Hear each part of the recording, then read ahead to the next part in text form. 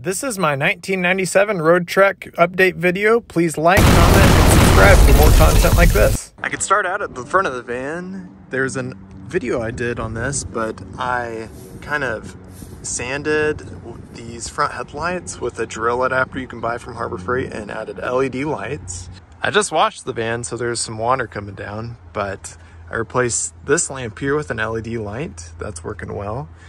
The radiator is a three core aluminum radiator with an aluminum or a electric fan that I added. I recommend and have read on these vans to get the gator belt here for the 5.2 and 5.9 Magnum. It also helps with overheating if you have a mechanical fan.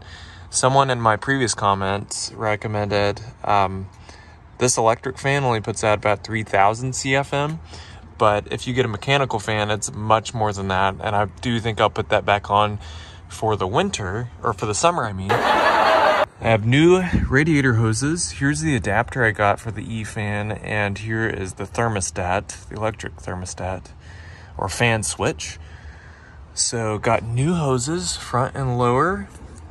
Also, I got a performance coil that's been working well, as well as new spark plugs and spark plug wires. I know you can't see those. I'd have to take the doghouse off. One thing I need to do is replace the fan in here and the wiring. You can see here it's going bad and it only works on high. New battery on the van. Let me take a little bit of time to talk about the tires, although I know I've done this in a previous video. So here are the rims I got. They're ProComp 51 steel wheels, link in the description. All this stuff, I'm gonna try my best to put a link in the description. Um, the Amazon links support my channel. I, I get a little bit of a commission on that. So if you wanna support the channel, do that and like the videos. But these lug nuts are locking lug nuts that I have a special lug nut key for. So did those. Back here, the rotors, I have new calipers and brake pads, as well as new front shocks. Uh, like the video and comment if you want to want a comprehensive video on how to change those. Here is my uh, tire pressure monitoring system that I got. Highly recommend, especially for these vans, you want to prevent a blowout and you want to get um, as thick sidewall tires as you can manage. So these are actually still 23575 R15, but they're the XLs and they're at Walmart and they're about 80 bucks each and got good all-terrain tread. They've been awesome tires in the mud and snow. I got these spot mirrors here from Amazon. So here's I got, I got some rubber floor mats. These are universal, but I made them custom fit. I really like these because you can just get a brush and clean out the interior that way. Here I have my sunglasses and ear pro for when I'm working on the van. These headphones. Here's a specialty socket for the shocks. Here's the lug nut wrench. And over here, climb up here. I've got some lights, a razor, and my charging setup. Here's the stereo I'm running. Just a cheap $30 Amazon stereo there. I recommend these magnetic phone holders here. Really versatile, really nice. Here's a rear view camera setup that I have. Highly, highly recommend for any van or SUV, SUV, anything like that. So I can go up and down. So when I'm like backing up, there I can see anything behind me. I can also change the brightness, make it brighter less bright for whenever I'm driving at night and it records at a standstill whenever it sees something. Here's a cinder mat. This is originally made for like a four, like a back trunk of an SUV or something like that, but I adapted it for this. Really love this setup. Here's the floor mat on the other side. Um, nothing else really up here. I do have these magnetic cup holders. Really, really love these. You can change the location if you're swiveling the seats. Here it's holding one of my cups here. And that's been incredible. Here is my tire pressure monitoring system. It's been incredible. I've had it uh, almost six months now. Here are my current tire pressures. So the max PSI on these is 50 and that's where I run it at for fuel economy and just it, it really keeps it centered on the highway with the stiffer sidewalls. So I got about 30,000 more miles since when I bought it. So put a lot of miles on this. Up top here, you can kind of see I'll pull this back. I've got storage here. So here's my CB radio that I don't ever use. I got a light and I got bear spray just in case uh, I need to use it. So here I got all the lights on and I'll go ahead and show you the updated interior. So this is where I keep my brushes. I keep masks here since I'm a, I'm a registered nurse and use these masks often. Have hiking poles in here. I love this overhead storage of these Roadtreks. If you're considering buying one, the layout on these is incredible. So hiking boots, hiking boots, have a foldable fishing pole in there, have a hiking chair, lightweight hiking chair, and a floating floating tube. Also have a sun visor, and that's what I got organized up there. I have extra towels, shop towels, and regular towels. Um, this is where my Windex and cleaning solution goes when I use that.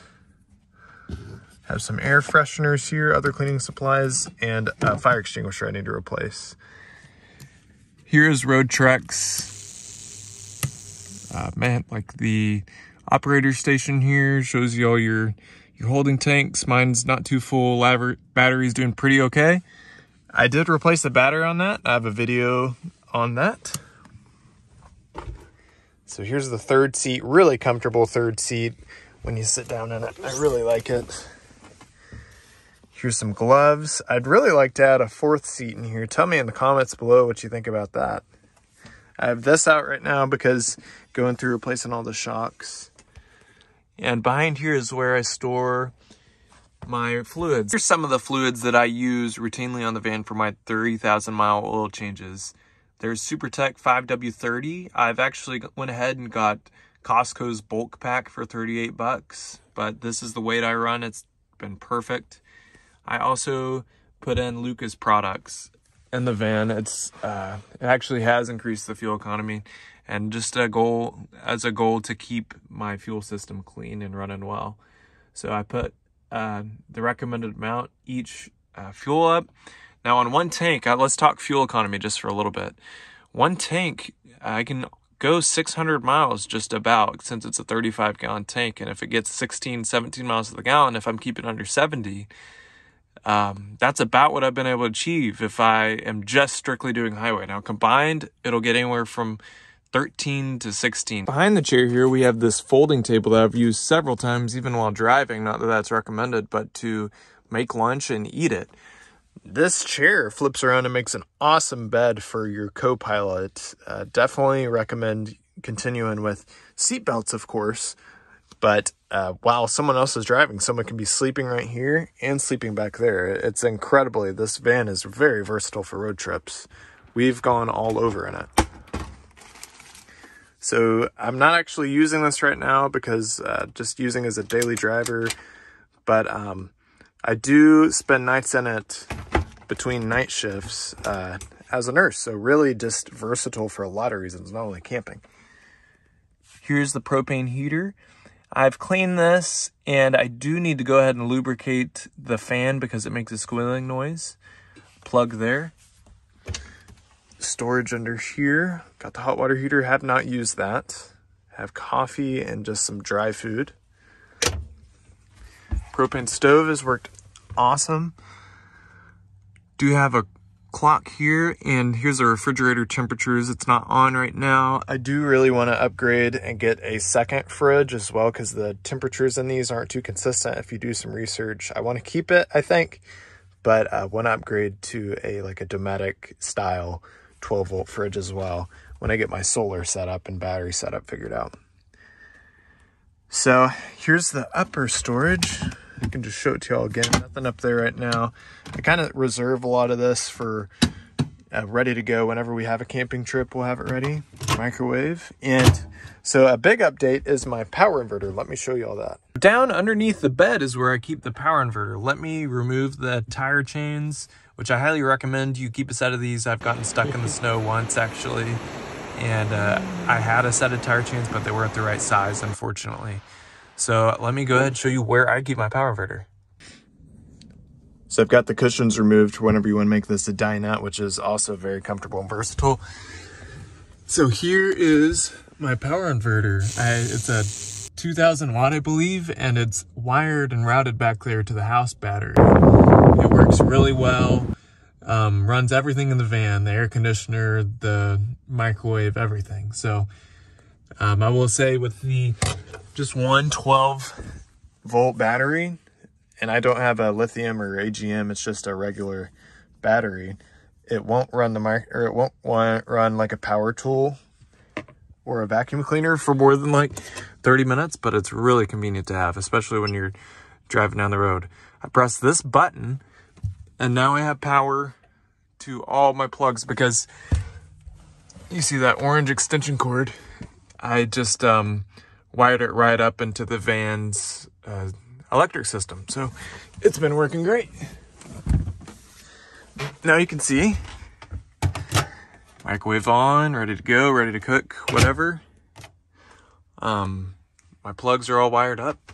Can even uh, run the air conditioner that I definitely need to replace. Now that we've kind of reviewed the power inverter, let's go ahead and review this refrigerator for a little bit. So this is a RM2310, the original refrigerator. It works okay. Um, there's a lot of videos on modifications you can do. Uh, Redneck Rover on uh, the Roadtrek Facebook page. Reference his website if you want to do some modifications, but mine's worked well enough. Um, you light it manually and you adjust this so any temperature control is really manual. So I do recommend an external thermostat and anything in the freezer is kept well for me, but the refrigerator the temperatures vary so much that um, I don't recommend keeping like uh, any perishable food in the fridge. Sitting down here, got my cutting board still, still retain that. Got a kind of a wash basin because I don't uh, keep water in the van um, system. I haven't haven't messed with that yet. It works, but I pretty much just go with water bottles and do dump it in the gray system. But don't have water, it saves weight, maybe a little bit of fuel economy have some towels here, magnetic towel holder, and here's some gloves since I I work on the van a lot. I'm also I'm on the road and I'm, I'm a nurse, so just gloves are always handy to have. So LED lights here. All my LED lights I've been using since I bought the van. I replaced them all. They've been great. You can you can run them all night and it won't hurt your battery too much. So added these coat hooks also added one here. Usually keep the trash here or here, just depending. And let's go ahead and review the back, including the bathroom. Right here, I got a carbon monoxide monitor, very important. Got some wonderful dollar store art that I've just kept there, and got my thermostat. More LED lights, they're yellow tone, and all the curtains. I usually keep this curtain down, my bedding, and this curtain here. So I really love using a sleep bag, sleeping bag. It's on top. Uh, I use this van a lot, like as a utility type van as well, like, you know, moving stuff from Home Depot and all that. Not the best vehicle for it, but you do have some space. So anything on this, it's, it's kind of like it, this surface is not waterproof, but resistant and it'll keep the area clean because I can just brush this off anyways. And I can throw the whole thing in like a, washer and dryer. And I just it's a just a cheap regular you know Coleman setup. So and it just looks kind of orderly. So back here uh plan is to tent all these windows with like limo type tent uh just for whenever I'm sleeping or working a night shift I'll sleep in the day. So that's uh, one of my planned upgrades. I also think I'm going to get rid of these. They let a lot of air in whenever I redo this rear AC so these wires, it's going up to the backup camera and my third LED light strip, which already unfortunately broke, but I'm going to replace that. Going into here is kind of my charging station and it's just, uh, pull this out here and you can also pull this out as well. I know that's a, I don't use that too much, but if I want to pull that out, that's awesome. Like for a desk, really versatile. So up here, I'm charging some lights. And this whole thing just comes right down like that. I love this. The original, the person who sold this to me is like, oh, you should get rid of this, but I really like it actually. Here is my upper storage. And I just store an extra sleeping bag for whenever it's cold and a tarp for if I got anything I'm putting messy right here, like a, anything dirty I'll lay that down. And here's my other side. Update on the toilet. Here's the toilet paper I use. You can get this at Walmart for like three bucks. Really good toilet paper. I like it. And here's the two products I'm using these days. I think it's probably probably the same I was, but here's holding tank treatment and uh, gray tank treatment. So those keep it smelling okay. I also have a bottle of, um, let me see here. I have a bottle of uh, spray for when I think it starts getting a little stinky. I'll spray that in here. All it smells pretty nice, so not bad. Here's the toilet, and back there I have a toilet brush. Um, I again I don't use the water yet on the van, so I'll just keep a bunch of water bottles and I'll pour some water in there if need be. I cannot comment on a shower in the van, but I do plan on using that. Uh, we both do at some point. So we can go ahead and go on with the fan. This fan has been awesome. So you just crank this. And I believe it's a fantastic fan. You just do one, two, or three, and you can adjust the temperature. I do plan on putting a reverse switch on it, which I've heard from other Roadtrek users it's recommended because whenever this shower curtain is around you and you have it on the um, sucking motion, it'll kind of implode on you versus if you're blowing out or blowing it in, it'll stay inflated and it dries the floor way quicker. The under seat storage. For now, this is all my miscellaneous parts that I want to install, like the battery clamp holder. And um, these are just some some little prongs or little fasteners that you put in the rubber, like if I'm taking out um, the wheel wells for the shop job. Here's an electric fan and just some of the parts that I need to install in the van. Here's the side of the van all opened up. I have the canopy taken off for now. Just, um, it's really heavy and I don't use it that much, honestly. Whenever I do camp in this van, it's definitely all just, um, I've never plugged it into any power or anything like that. Here's storage under here. This outlet is really useful because I use this van as like a mobile kind of power station generator. I can I got all up to 2000 watts if I need to. So my extension cord is over there and I can run a shop vac, shampooer, power tools, um, even like an angle grinder. I've done that before all off my van. If the engine is running, it'll run it perfectly. So that's awesome to have. I have a little seat here. It's a foldable seat. I use that whenever I'm working on the van or um, whenever I just need somewhere to sit. This is why the van's name is Dale, because it was sold at Earnhardt's RV, so Dale Earnhardt. if anyone knows the history on this, maybe that's a different spelling of uh, Dale Earnhardt, Dale Earnhardt Jr.'s name, but pretty cool. I really love this sticker. Here is uh, a sticker I got. Just um, I do have audio, video and audio recording. So the back of the van. Here I have my reverse camera here. I also got the light strip there, which when it worked, it was awesome. Really kind of is a good safety thing. I think I'm gonna get that working again. Here it is kind of routed into the side. And here I have my spare tire without a cover or anything because I use this fifth tire in my tire rotation. I usually have this locked up to the van itself and I also bought a five gallon jerry can that I'm going to mount here for um, doing some longer drives and getting the cheaper gas, especially on the West Coast. So here is my four prong trailer hookup. This has been really useful. I've towed several times with the van, U-Haul trailers uh, moving and such. Um, Army Nurse Corps representing. So it is a 2500 and let me show you my tool setup.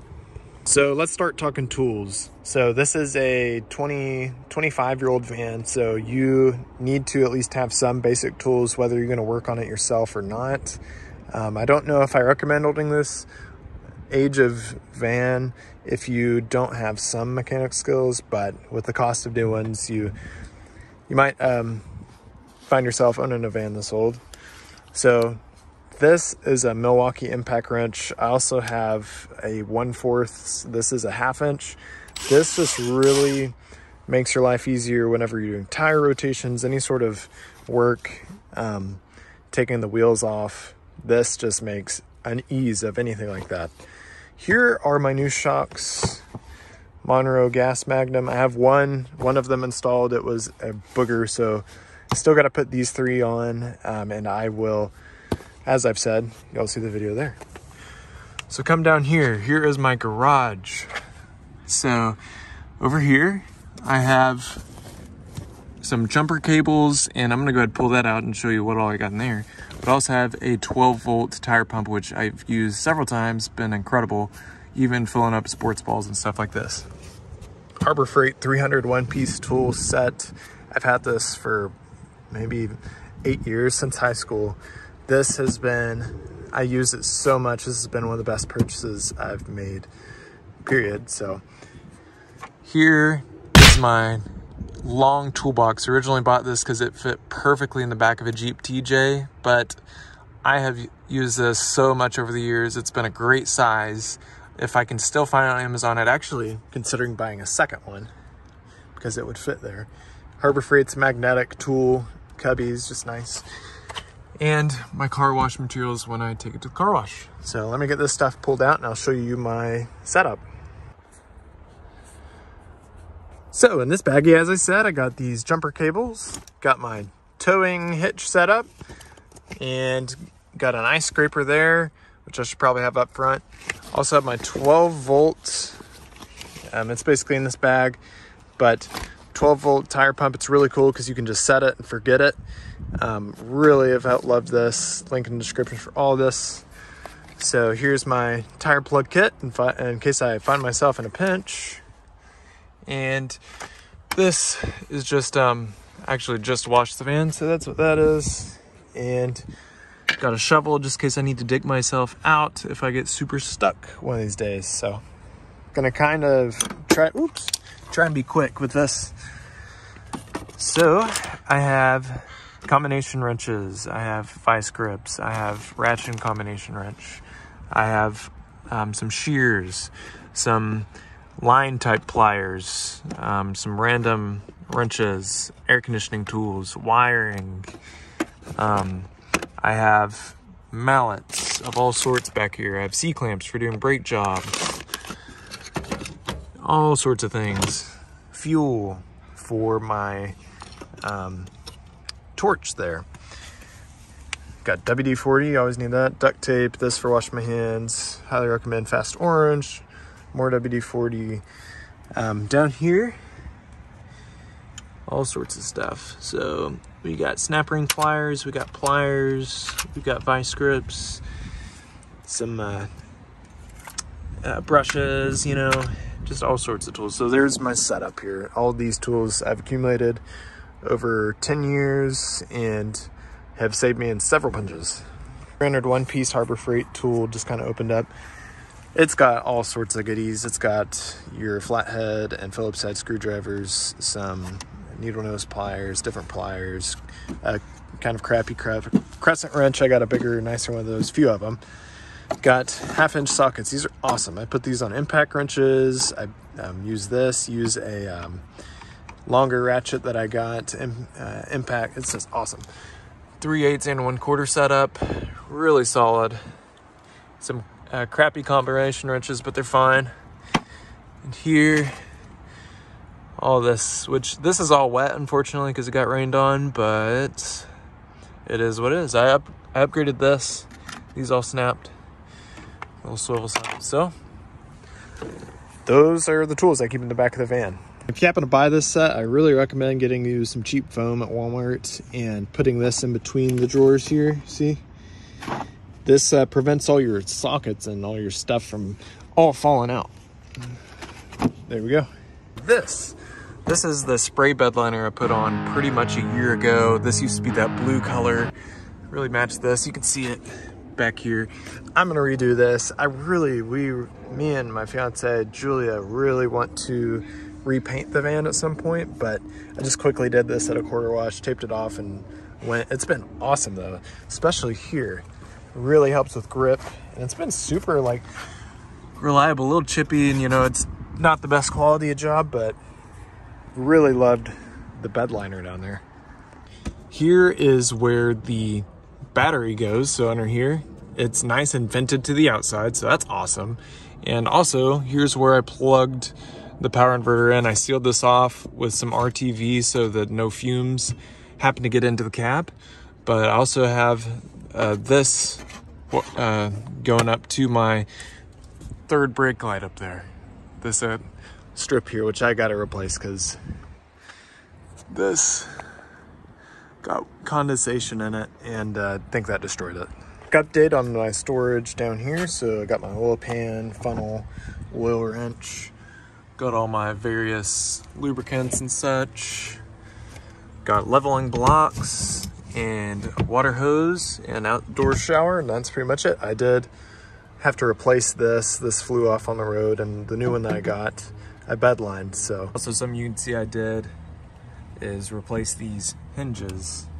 Uh, I do realize now this is not the original design, so I do want to put a piano hinge all along here and do it properly, but that's the setup I got for now.